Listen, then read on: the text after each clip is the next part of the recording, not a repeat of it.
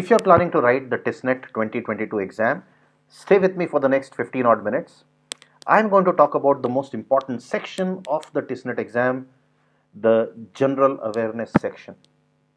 You would already know that the general awareness section is the make or break section as far as the TISSNET exam is concerned. And this is especially so if you're looking for an admit to the HR or the ODCL courses. So what is the idea? The idea is to come up with a series of sessions, not one, not two, but a full set of eight odd sessions, eight to ten sessions, I would say. And we have known that the TISSNET questions appear from a certain number of areas environment, politics, uh, sorry, polity, economy, sports, national news, arts and culture, history, constitution, and so on. So, what we have done is we have assembled from each area around 30 questions which relate to the last 12 months current affairs and every session we will devote to one topic. For example, today's session is devoted to e environment and ecology.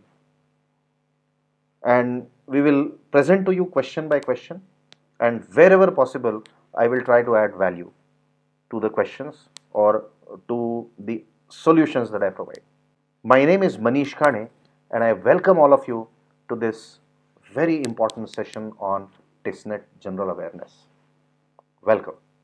So here is the first question. What is the new name of the Ram Katha Park situated in Ayodhya? The answer to that question is the Ram Sita, sorry, Queen Yo Wang Ok Memorial. So you might be surprised by that name, and it is believed that she was born as Princess Suriratna of Ayodhya, and she traveled to South Korea in 48 AD. She's almost a mythical figure. She's believed to have married the king over there, and she and the king started the Karak clan in South Korea at that time. And in her honor, the park has been renamed as Queen Yo Wang Oak Memorial Park. Next question Which country became the first BRICS country to join the High Ambition Coalition for Nature and People? So, the first BRICS country, the correct answer here is India. Now, the first thing is what is BRICS? BRICS is basically a group of countries comprising Brazil, Russia, India, China, and South Africa. So, of these countries, India has become the first country to join the High Ambition Coalition. The next question is what is this High Ambition Coalition? So, it's an intergovernmental group of people. It was started by Costa Rica, France, and Britain in the year 2019. The aim of this group is to preserve 30% of global land and ocean area by the year 2030 and that is why it is called as global 30 by 30 goal. The idea is to ensure that we are witnessing a loss of species on this planet. So by preserving the forest area by preserving our oceans we can halt this accelerating loss of species on our planet. So high ambition coalition. Currently there are 70 member countries of this coalition. Next question Which railway station in the Indore district of Madhya Pradesh has been renamed as the Tatya Bhil railway station? So, the correct answer to that question is Patal Pani. So, Tatya Bhil was a revolutionary. In fact, he took part in the first war of India's independence in 1857 he used to wage a war against the British by looting the treasury of the British.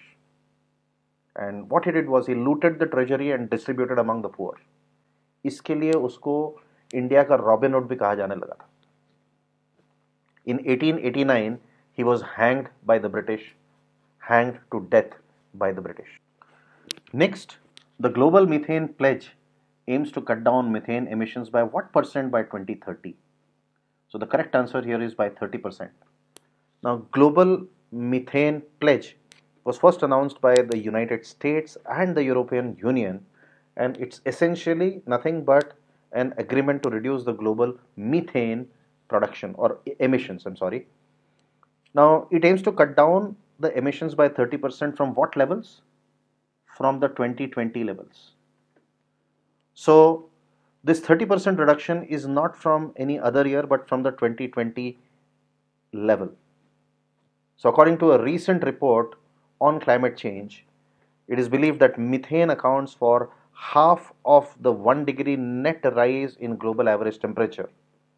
And that is why it is important to cut down on global methane emissions. Next, where is India's largest aromatic garden being developed? The correct answer to this question is Lal Kuan. Now, India's biggest aromatic garden, it boasts of 140 species of aromatic trees, flowers. Lal Kuan is situated in the Nainital district. The, this garden has been developed over an area of 3 acres by the research wing of Uttarakhand Forest Department. An interesting fact to know here is Lal Kuan was selected as the site for the garden to offset the perpetual stench that comes out from the paper industry in that area. The garden has Tulsi Vatika, which contains more than 20 species of Tulsi. It also has aromatic leaves such as rosemary, mint, and lemon balm. It also has aromatic flowers like chameli, mogra, rajnigandha, etc., and aromatic trees like chandan, neem, and parija. Next, which comic character has been chosen as the official mascot of Namami Gange program. So the correct answer here is Chacha Chaudhary.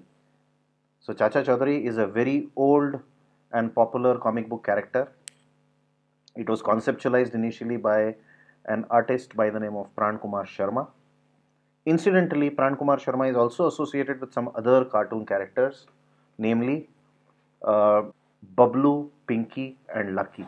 These were some popular cartoon characters created by Pran Kumar Sharma. So basically, why Chacha Chaudhary was chosen? He was chosen to sensitize youngsters and youth on the cleaning of Ganga River and other river program. Next, which national park is set to become India's newest tiger reserve? The correct answer is Guru Ghasidas National Park, basically in Chhattisgarh. So in Chhattisgarh, I think this is the fourth tiger reserve now. Next, which day is observed as the World Animal Day? The correct answer is 4th of October, which is observed as the World Animal Day. Next question. Which is the country's first government owned wildlife DNA analysis laboratory? Where is the? So the place is Nagpur. Now this is the country's first state government owned wildlife laboratory. I think the central government already owns such labs in Dehradun. Yes, Dehradun. And what is the significance of this DNA analysis? Now this kind of analysis goes a long way in prosecuting animal poachers. तो जो animals को मार के smuggle करते हैं उनकी poaching की रोकथाम के लिए इस तरह की लैब्स का सेटअप होना बहुत ज़रूरी होता है because these labs are able to identify and connect animals with the poachers वो are involve in that event of poaching अब आप एक पोचर की गन पे अगर कोई ब्लड का ड्रॉपलेट होगा या सूखा हुआ ब्लड भी होगा तो उससे अंदाज लग जाता है कि कौन से एनिमल का ब्लड है, जिससे आप पोचर को पकड़ सकते हो और पोचिंग या एनिमल की जो एनिमल को जो मारा जाता है, इसमें आप रोकथाम कर सकते हो। Next which place has India's highest herbal park the correct answer to that question is Chamoli so India's highest herbal park ये चमोली डिस्ट्रिक्ट के मना शहर में है और ये उत्तराखंड में सिचुएटेड है। This park will help conserve several medicinal and culturally important alpine species ठीक है एल्पाइन स्पीशीज मतलब क्या? उस तरह के प्लांट्स और स्पीशीज जो हाई एलिवेशन या हाई ऑल्टीट्यूड में ग्रो होते हैं और उस तरह के एनवायरनमेंट में अपने आप को अडेप्ट कर लेते हैं।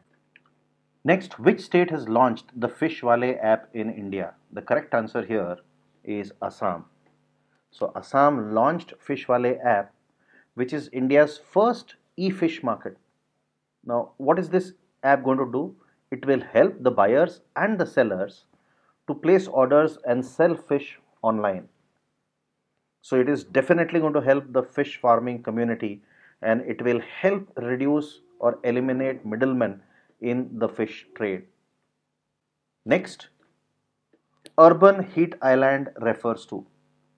So basically urban heat island is nothing but a metropolitan area that is significantly warmer than the surrounding areas.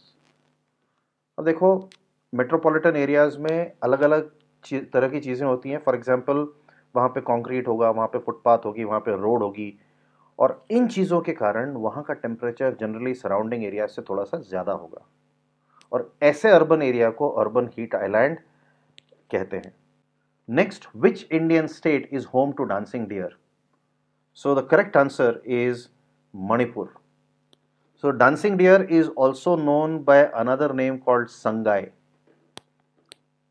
So it is an endangered subspecies of deer which is found in Manipur and its common English name is brow antlered deer और ये कहाँ मिलता है Keibul Lamjao national park में ही पाया जाता है मणिपुर में Next question, the largest single transfer of rhinos which was undertaken recently was from Dash to Rwanda. The correct answer is South Africa. Now, why was this transfer undertaken?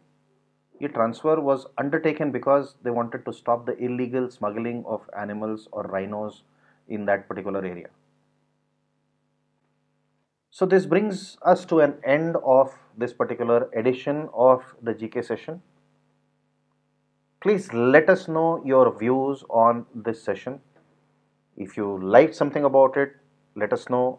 If you want us to add something, please do let us know. Your comments, your feedback is always welcome. And please do not forget to subscribe to our channel Pathfinder for me if you do not want to miss out on updates related to this TISSNET GK series. Thank you very much.